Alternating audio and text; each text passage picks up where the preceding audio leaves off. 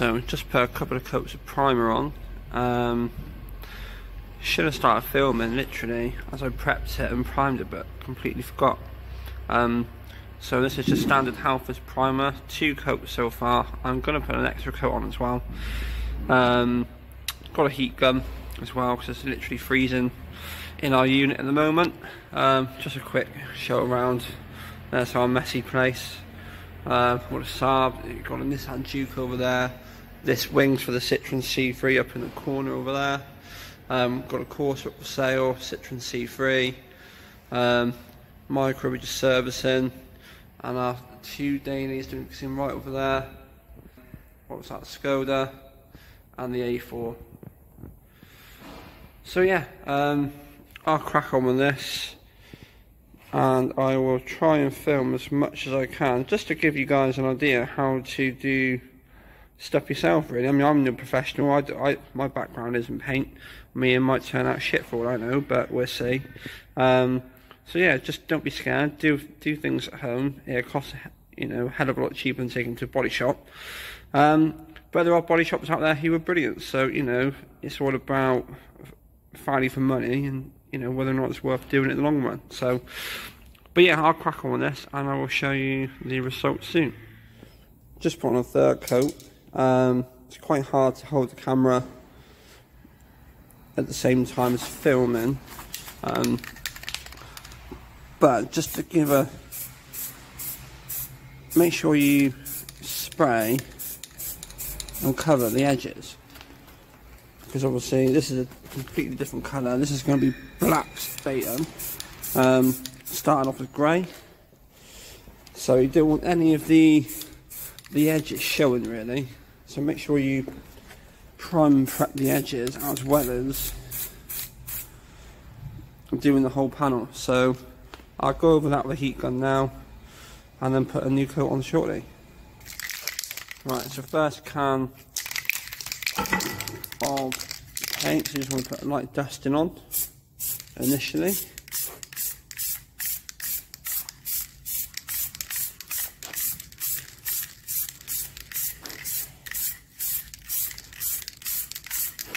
Hold it about, you know, 15 20 centimetres away.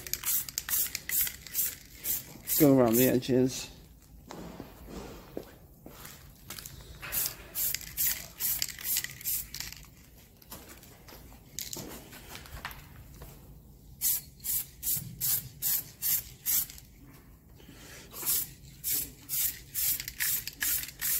give it another light dust in just to cover as much as possible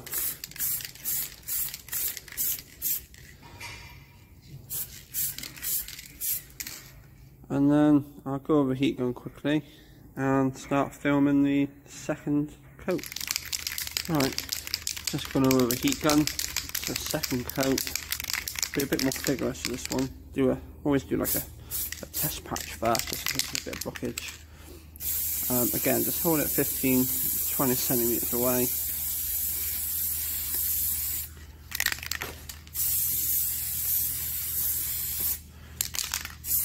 Try and go with the same motion as well.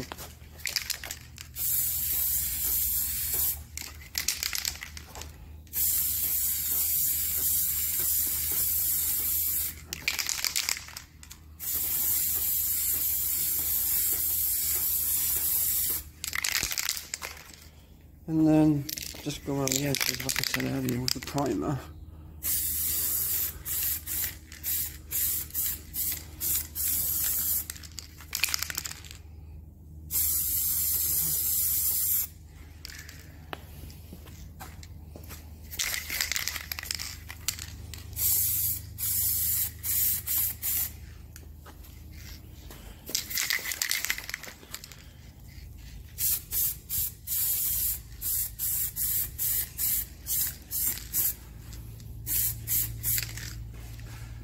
So I'll go over the heat gun again.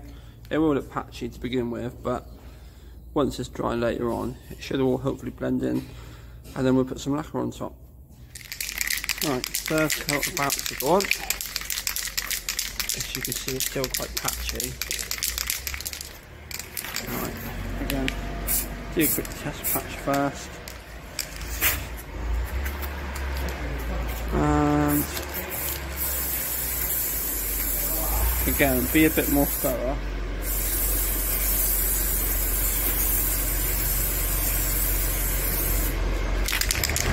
As you can see, a tractor we're just about to put in then. One of the units, see. A farm.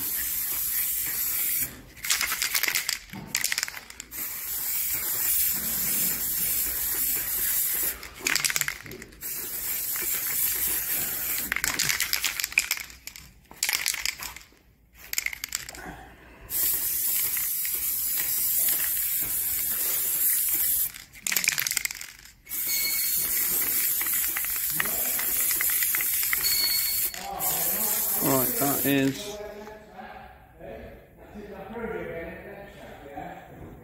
the third coat on. So give it some heat gun and put some lacquer on a bit. Right, just about to put the, the fourth and final coat of paint on.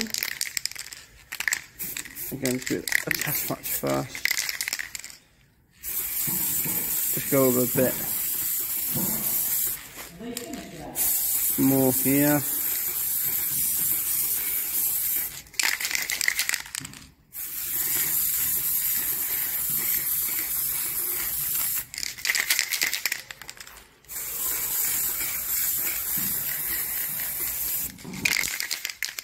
Again, don't forget to go around the edges as well.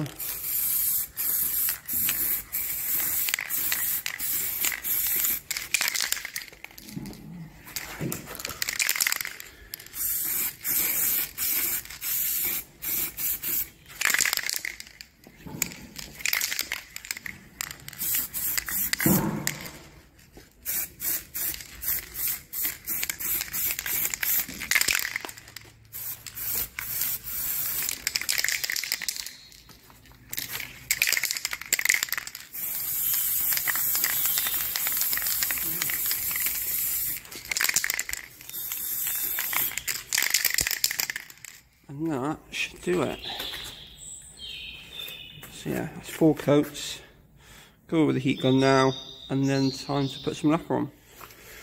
Right, so first, like covering of lacquer. Obviously, you see it's a little bit patchy, but that should be okay once the lacquer's over it.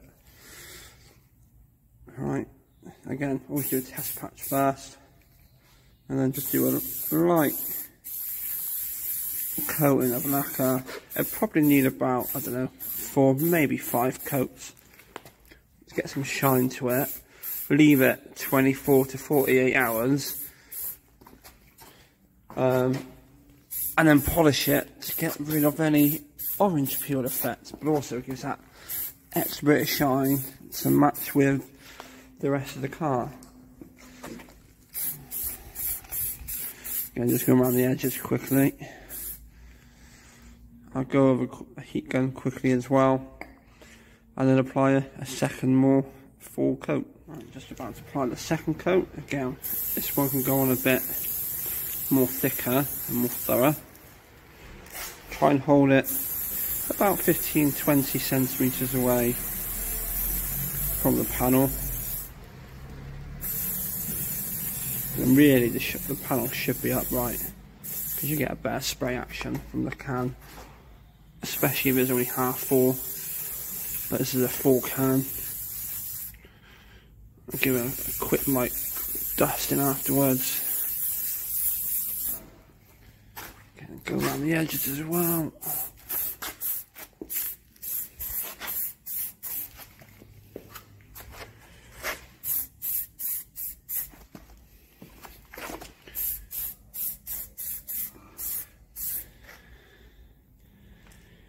Right, and go over the heat gun as well. So, so yeah, probably the, the final coat of lacquer going on now. Um, I always try and put it on when it's a little bit tacky to just touch at the back of your knuckle. If you feel a slight tackiness to it, that's probably the best way of, um, the best time rather to put lacquer on because it'll bond to it. So, again, test patch first, and then give it a good of spraying with. It will look patchy whilst it's drying. Um, leave it to cure, like I said, 24 to 48 hours or so. And then pop it back onto the bodywork, onto the car, because it'd just be so much easier doing that, polishing it, rather than it being on the floor. I'm going to give it quite a lot of the last coat, give it that extra bit of shine. Don't spray in one area for too long so you'll get runs in it as well you see. I think that should do it. Again, just go around the edges quickly. I'm using is um, Halfords clear lacquer. Always used to do the job.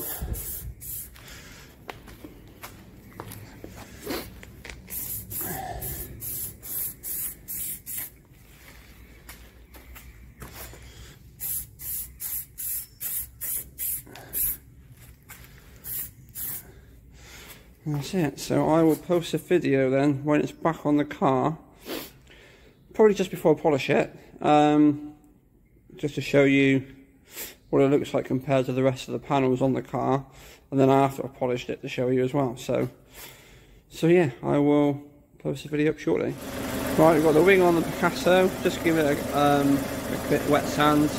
So just about to apply some polish so fingers crossed it comes up because at the moment it looks absolutely horrendous so um, we're actually running it as well to get it to temperature because we just make, we've got a slight incline, incline there's um, an overheating issue so I'm um, just doing a bit of engine work at the moment but, but yeah my job is to, to do this wing.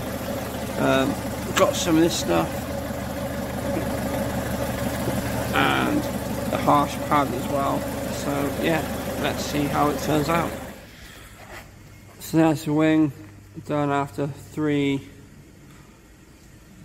coats of polish with the Meguiar stuff. Doesn't look too bad. Probably go over a few more times and that should be it really. So yeah, that's how you polish a car like an amateur.